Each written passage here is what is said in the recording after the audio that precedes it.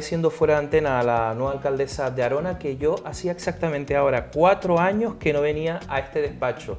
Bienvenidos, bienvenidas a todos los espectadores de Canal 10 Televisión. Hoy nos encontramos en el municipio de Arona, donde tenemos un cambio, un cambio importante que se traduce, pienso yo que en una palabra, ilusión. Fátima Lemes, buenos días, buenas tardes, buenas noches. Muy buenas, ¿qué tal? ¿Cómo estamos? Nosotros estamos contentos y supongo que que tú también con este cambio en el municipio de Arona, además nos prometiste que íbamos a hacer la primera entrevista de televisión contigo y lo has cumplido porque además eh, Fátima Lemes, como sabrán, era, era o es con tertulia nuestra de, Canal 10. Digo, era porque ahora mismo estará bastante liada, ¿no? Como para sí, la tertulia. es muy intenso el trabajo de, de, los municipios y por lo tanto pues no puedo tomarme esas licencias de ir a, libremente a... que me encantaría y que si algún momento puedo ir lo haré, pero sí era un compromiso de que ha sido pues el canal un poco que también ha acompañado en toda la campaña, por lo tanto pues que mejor que han sido, claro, los primeros que lo han solicitado y, y vamos a tratar a todos por igual y demás, pero, pero sí, yo encantada de estar con ustedes.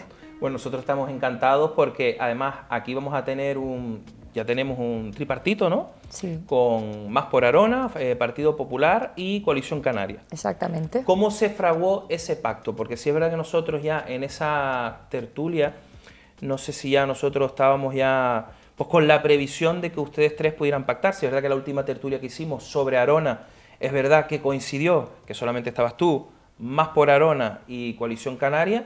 Eh, ¿Cómo fueron fraguando ustedes ese, ese pacto? Supongo que después de las elecciones. Siempre después de las elecciones es un respeto hacia los votantes y hacia los resultados electorales y en base a esos resultados, pues por supuesto se, algunos eh, partidos se contactan con, nosotros fuimos la, la segunda fuerza más votada, evidentemente pues el, cambio suponía que, que, el PSOE pues tampoco podía formar parte y pues el electorado nos apoyó mayoritariamente el resto de de, formaciones y, la verdad que fue muy natural, no fue ni ese mismo noche, ni fue presionado, ni fue, fue como muy natural, muy, creo que era lo que, lo que tocaba, hablar con todos y, ver las opciones porque también está Nueva Canarias, también está Vox representado y, y, había que tener en cuenta a todos, pero, pero bueno, lo que decidió la mayoría fueron pues Partido Popular en primer lugar, Coalición Canaria y el siguiente más por Arona.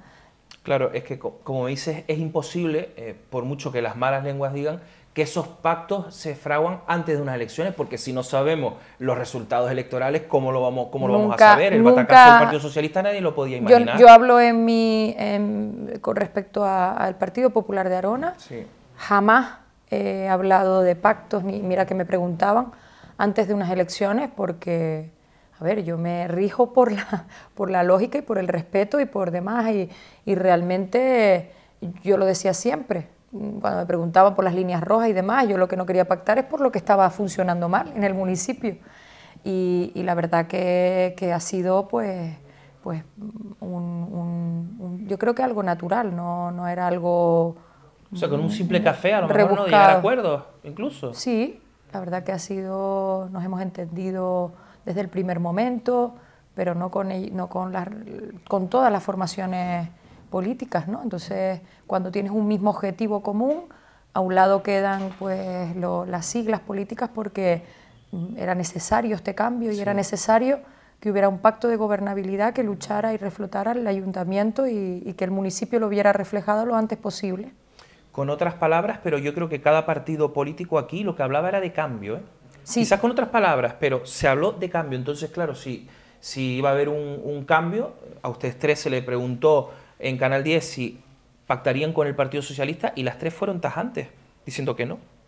Hombre, es que no es lógico que sí se han hecho mal las cosas eh, con el actual, con, con, el que fue candidato y, y, y, que realmente no, no, pues ese partido no había, no había gestionado eh, de la manera que considero que todos ahora, con todo ese asiento de peticiones que nos están entrando, que nos han llegado, cosas pendientes, cosas que han estado ahí, pues realmente es que ya la, nos da la razón, ¿no? La, las urnas también hay que respetar y, y, también hay que respetar la democracia y lo que se hace por el bien del pueblo, en este caso pues un pacto eh, con tres formaciones para dar estabilidad y para dar gobernabilidad y puedan salir adelante todas esas cosas necesarias que, son para, para, que un municipio no solo funcione, sino que mejore, porque ese es la, el, el, objetivo principal, que los ciudadanos vean reflejado en su bienestar de vida, en su, en su día a día, esa, esa aplicación de las, de las políticas y de, la,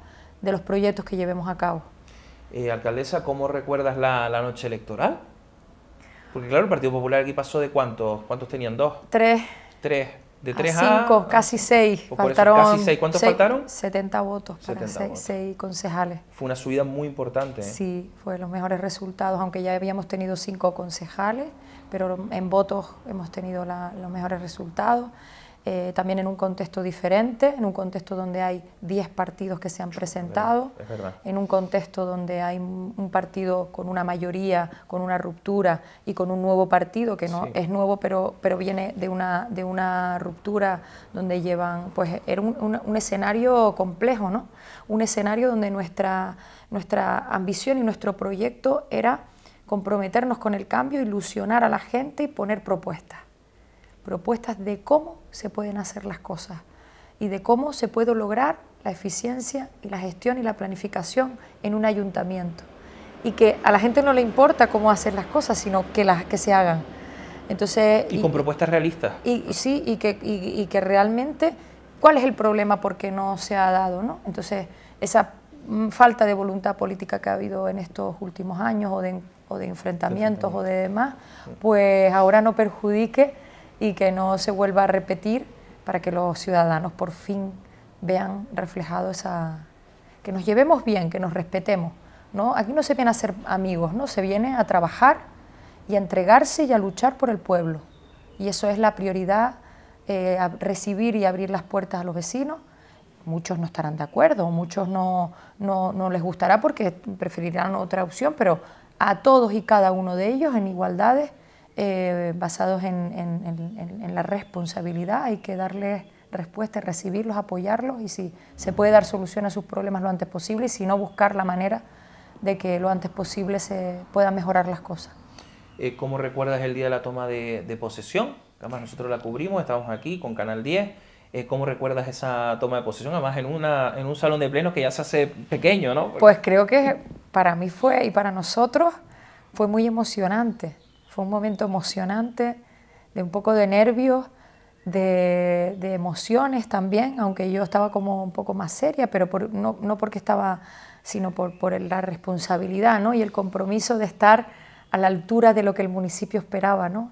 y, un poco para, que, para transmitir e, ese compromiso y esa, y esa, gran, esa gran importancia de estar al frente del municipio y de que yo iba a ser eh, nombrada como, como alcaldesa y para mí era como el momento más importante de mayor responsabilidad y compromiso de mi vida.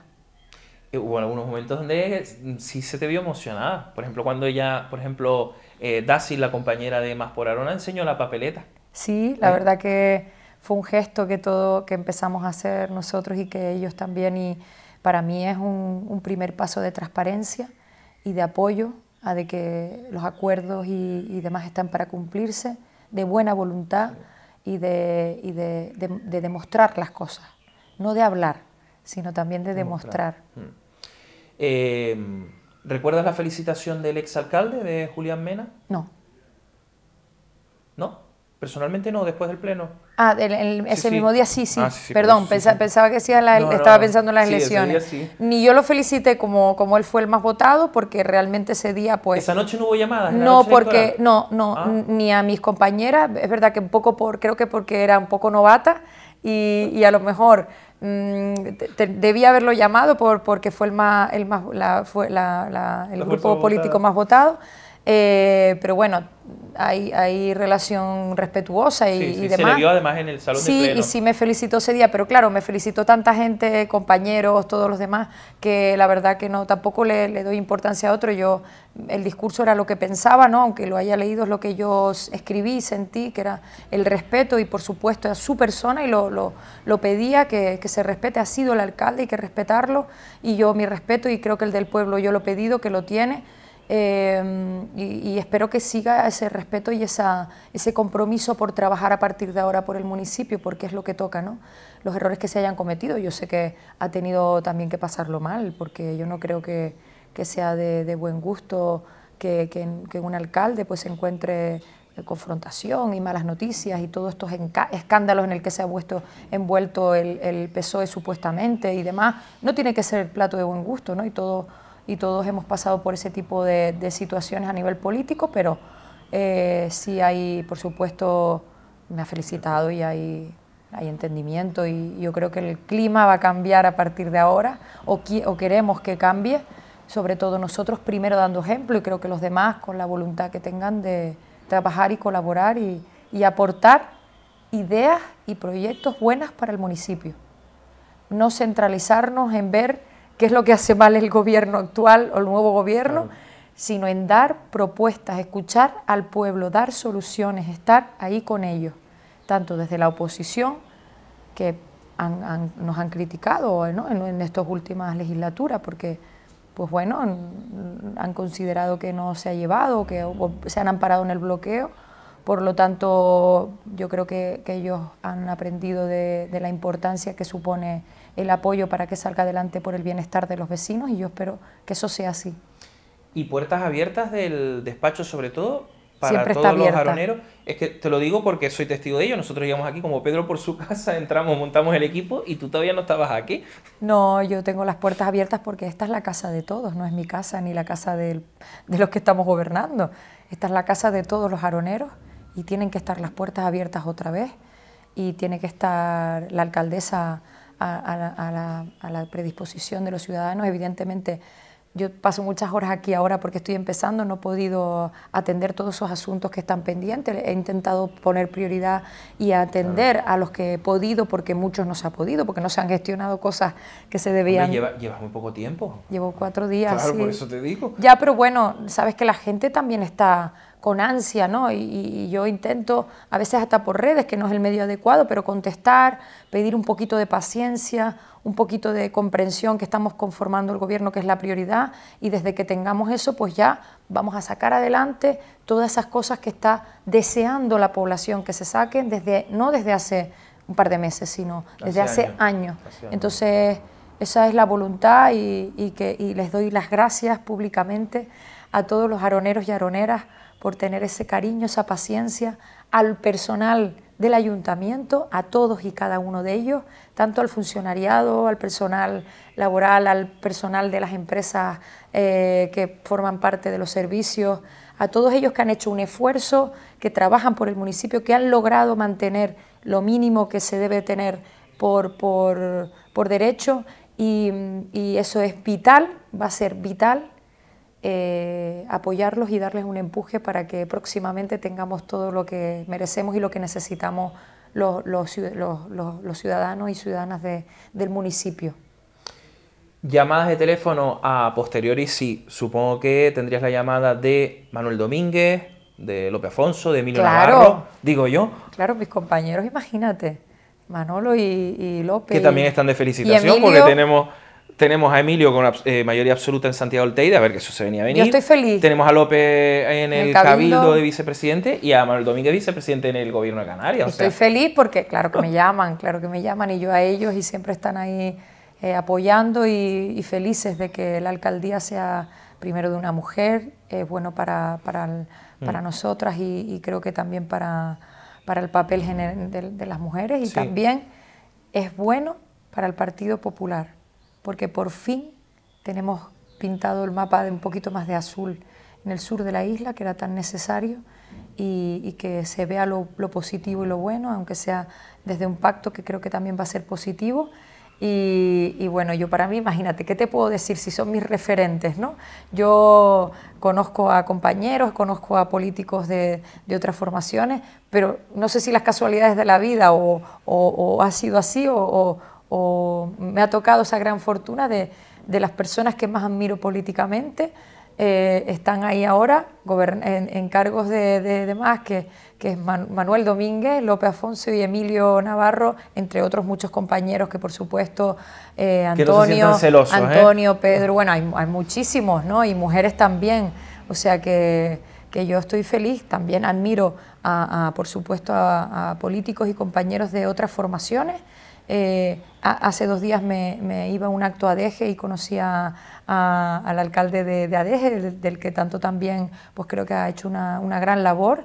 Y, bueno, las urnas siempre le dan la razón y dejando a un lado... Qué bueno que tú lo digas, mira. Sí. Y además es, la verdad, ¿no? Sí, bueno, yo lo, lo respeto, yo no, no, vivo en ADEGE, no puedo juzgar eh, cómo funciona, pero lo que es indiscutible es que yo creo que, que, es un municipio en el que muchos se quieren ver reflejados. Yo mantengo, eh, eh, yo quiero mantener esa buena relación, pero no solo con, con ADG, sino con San Miguel, que está Arturo, con Granadilla, con Santiago Olteide, con Guía de Isora, con Ana ahora, con todos los municipios de la comarca, porque con Vilaflor, que ya conocí también a la alcaldesa porque creo que es fundamental que rememos todos a una misma dirección para que el sur por fin mm. reciba lo que, lo que merece, tanto en materia sanitaria, que es tan importante, como en materia de seguridad, de movilidad y de recursos y de inversiones, porque necesitamos de verdad que Arona, que es uno de los principales o el principal motor del mm. sur, reciba ese impulso, se luche por ella y de verdad se defienda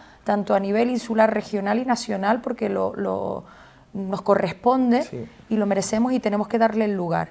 Y yo no voy a permitir, eh, voy, a, voy a defender a, mi municipio por encima de todo, de todo tipo de, de, cuestiones políticas y demás, porque lo necesita y lo merece. Y, entonces, en, eso estamos. Y también el sur de la, isla, de la isla, creo que ya este cambio también le va a favorecer para poder llevar a cabo todas esas eh, todos esos proyectos y, inversiones y demás que son tan necesarias. Eh, ¿Cómo vas a ordenar la casa? ¿Por dónde vas a empezar? Pues ya hay un plan, evidentemente hay un plan y estamos Porque tan, tan desordenada está la casa. Está muy desordenada, pero está funcionando bien. No es que esté desordenada, no, que esté, no es la palabra. La palabra es que está... ¿Desorganizada? Em, no, no, no creo que sea esa. Yo creo que em, está eh, falta desnutrida, digámoslo así. Eres bastante fina con... Desnutrida o, falta de, mimo, falta de cariño. De ilusión, decía yo al principio. De ilusión. O sea, está muy organizada el municipio, el ayuntamiento es un, ayuntamiento ejemplar. Tiene unos profesionales, vamos, que yo eh, me encantaría aprender de ellos porque, porque son de lo mejor que hay. Lo que pasa que, claro, yo eh, vamos a hablar de, eso, de que le falta todavía nutrirla, dotarla de recursos, sobre todo el tema personal, tema presupuestario, hay que dotarla y hay que, hay que darle cariño y, hay que darle y hay que trabajar duramente por parte de la voluntad política para que ellos también se sientan, vean reflejados su trabajo y su gran esfuerzo que llevan haciendo tanto tiempo. Ya la corporación está conformada, lo que son las concejalías, ¿no? ¿Cómo ha quedado repartido un poco a grosso modo? Pues eh, desde aquí, desde el Partido Popular o la parte del, Partido Popular, de, las tres partes, tenemos la, alcaldía, la presidencia y por destacar por encima, porque son muchísimas, sabes que son muchísimas secciones, muchísimas áreas, pero bueno, tenemos el patronato de cultura, el patronato de deportes, también tenemos el de modernización, innovación, nuevas tecnologías y atención ciudadana, eh, también tenemos juventud y después, pues más por Arona tiene áreas tan importantes como turismo y promoción económica, eh, también tiene urbanismo y tiene obras y, y Donde ya tiene experiencia en el gobierno anterior, porque lleva las mismas consejerías, ¿no? Sí, mm. algunas sí. Y, y, después, pues también Coalición aporta una, un, importante, un importante peso con el tema de servicios públicos, medio ambiente, eh, servicios sociales y, otras áreas como tan importantes como la de seguridad. Entonces faltan muchas más por, por decirte, pero, pero, vamos, que las, las, grandes áreas y Hacienda también lo tienen. Entonces, eh, en función de lo que hemos acordado y de un poco de la, de la gestión, del trabajo, de los proyectos, de lo que se puede llevar a cabo, pero no nos fijemos tanto en, en la división de que tiene cada uno.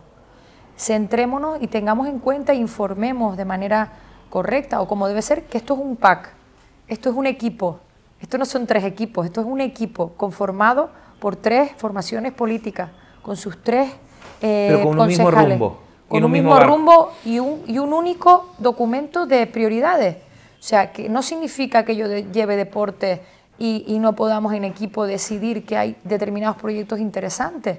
O igual que en servicios públicos hay que remar todos para que, se lleve a cabo mejoras importantes en, ese, en, ese, en esa sección o en esa área. Hay que verlo todo como, como una unión, un, objetivo común, un mismo proyecto. Evidentemente toca dividir, ¿no? como cuando compras una empresa y tienes que, que, que si son varios socios, eh, entre todos repartir el trabajo, pero evidentemente esto es un objetivo común, es un pack, es, es, es algo que, que un se pack que se llama Arona y punto, ¿no? Exacto, es que es por Arona, hmm. porque, porque realmente lo importante aquí y el objetivo común es el municipio entero y sobre todo los ciudadanos y ciudadanas que viven, las necesidades de ellos, el pueblo, el, el reflotar todo lo que, lo que lo que hace falta y que Arona vuelva a brillar y que Arona vuelva a ser referente como lo fue antaño y, podremos seguro, porque si tenemos de la mano a la parte insular y regional y espero que pronto la nacional, vamos a conseguir cosas muy importantes para el municipio. Qué bueno. Y las primeras acciones, el, tema del urbanismo, ¿cómo está, cómo está en Arona? Yo supongo que el urbanismo será de lo, de lo más complejo. Sí, hombre, tendremos que evaluar cuando esté asumida las funciones del concejal y, de, todas las personas que, lleven a cabo esa labor, eh, hacer una evaluación previa, hay que ver qué situación está, qué, cuáles son las acciones que se deben de tomar para, para salir adelante con estos temas que llevan enquistados tantos, tantos años. ¿no? Mm. Em, lo decíamos, puertas abiertas para todos los vecinos, yo supongo que ya pues tendrás cola para que la gente te venga, te venga a ver, pero lo has pedido, has pedido paciencia y también supongo que cuando ya se inicie un poquito más el mandato, seguirán saliendo ustedes a las tres eh, a la calle para ver esas reivindicaciones precisamente de la, de la gente, ¿no? Las tres, somos los 14. Ah, ¿verdad? Yo siempre pienso las tres, pero es verdad que son 14. No, no, no, las tres somos las que estamos en la cabeza de la lista, pero el trabajo es de 25 concejales y de 14 que están gobernando, liberados, pero el trabajo es de 25 concejales. El compromiso es ese. Y el compromiso del seguimiento y, de, y demás, pues claro que está la Junta de Gobierno, que está las tres caras visibles, pero, pero aquí está muy bien ejecutado y muy bien planificado las labores y la coordinación y lo que se quiere llegar en conjunto para que, para que se pueda gestionar y planificar bien y que se haga desde la máxima eh, rigurosidad y, profesionalidad para que también eso se vea reflejado en las acciones que se tomen. ¿Qué es lo más que te preocupa, si es que te preocupa algo? De los próximos cuatro años de gobierno, porque hay buen feeling de, los tres partidos políticos, ¿no? La única preocupación que, tenemos es que nos dejen hacer nuestro trabajo eh, y, que, y, que, respeten los tiempos y, que la gente pueda tener paciencia y, comprenda un poco el, los procesos que a veces la administración es muy lenta. Burocracia. Queremos que llegue, que, poco a poco sea más efectiva y menos lenta y menos engorrosa para todos, porque eso es lo que queremos todos. Yo también una como noticia maravillosa, Fátima. Esa es la mejor noticia que puedes dar hoy. Sí, bueno, nos preocupa simplemente que, que, la gente tenga un poco de paciencia y que no se desespere porque, oye, es pasarlo mal tantos años y, y que no se les resuelva su, o no se les dé respuesta o no se les escuche, porque mucha gente o cientos de personas que se ponen ya en contacto, pues mira, me ha pasado esto, me ha pasado lo otro, y que no se ha podido, pero sí por lo menos escucharlos y tomarlos en cuenta y atenderlos y dar la cara. Entonces, esa es la voluntad, pero preocupaciones es que se pueda sacar, que, que venga que vengan ya a, a conformar gobierno lo antes posible los concejales, que podamos estar operativos, que, que pueda haber con normalidad el desempeño de funciones. Son preocupaciones del día a día y que, que, no, que no pase nada negativo en el municipio a partir de ahora, eh, preocuparme por temas de, pues de, de, importantes, ¿no? Que, que no pase nada de gravedad, ahora nos acaba de llegar una patera, entonces son muchas cosas de las que tenemos que estar pendientes, de las que ahora mismo pues yo estoy sola y, y sé que la gente me, me, tiene mucho, mucha empatía y cariño y, están ilusionados y sé que me están dando un poco de espacio y de tiempo. Eh, algunos pues me lo dicen, pero cuando yo les respondo pues hay total comprensión, o sea que, que, en ese sentido creo que vamos, vamos bien y por eso pues mantengo todavía la, la calma y la tranquilidad para, pero con mucho trabajo, con trabajo duro y, y comprometido intenso desde el minuto uno el lunes. Eso, desde el lunes. Sí. O sea, tú el sábado en la toma de, posesión ni siquiera llegaste a entrar a este despacho, sí? Entramos todos porque salimos al balcón. Es verdad. No, eh, trabajé el sábado también, eh, trabajé el domingo en, eventos, eh, el sábado también, patinaje, una competición que había en, el Valle San Lorenzo, otra en el estadio en, en Las Américas.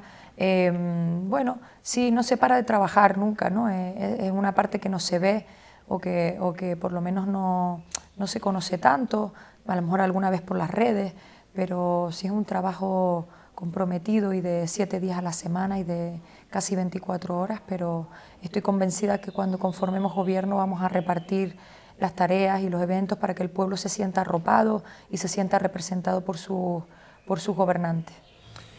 Tu mensaje para toda la gente de Arona, ¿qué les tienes que decir a todos? Bueno, pues que muchas gracias por el recibimiento, y, estoy agradecida también por la paciencia y por la empatía que tienen de que entiendan de que estamos en un proceso de cambio que no se puede hacer de un día para otro ni atender todas esas que entiendo también a ustedes que, todas esas solicitudes tienen eh, prioridad igualitaria, pero, pero estamos tomándonos los procesos que nos marcan los tiempos para que lo antes posible eh, ya estamos trabajando desde alcaldía, pero lo antes posible pues vean reflejados en, el día a día de ustedes todas esas mejoras y todos esos proyectos que vamos a llevar a cabo y que los próximos años sean de bienestar y buenas noticias para el municipio. Les mando un cordial saludo, un afectuoso saludo y, espero estar pronto en la calle el día a día con ustedes también y agradecerles y de verdad eh, muchísima precaución también para el tema de las hogueras esta noche, eh, que disfruten el festivo pero desde la, calma.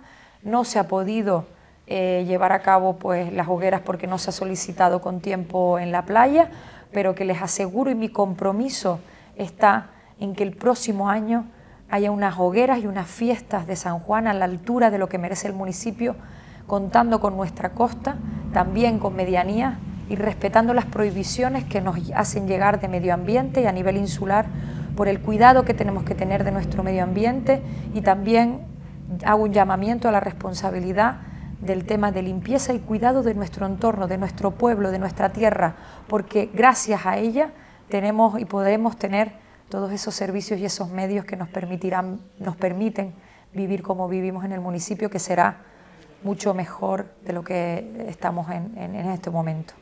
Fátima, pues esto ha sido un honor porque además ha sido la primera entrevista en televisión, en tu televisión, que seguirá haciéndolo, en Canal 10. Así que muchas gracias por, por atendernos. Muchas gracias a ustedes y a todos los compañeros que les tengo aprecio porque hemos estado estos meses en contacto, pero esta es vuestra casa también.